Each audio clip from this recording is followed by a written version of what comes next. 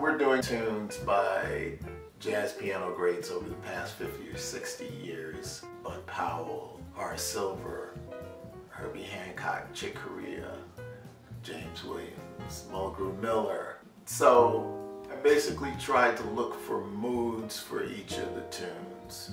I generally don't like to change the harmony uh, compositions, uh, and if so minimally, but we did take some liberties on this record.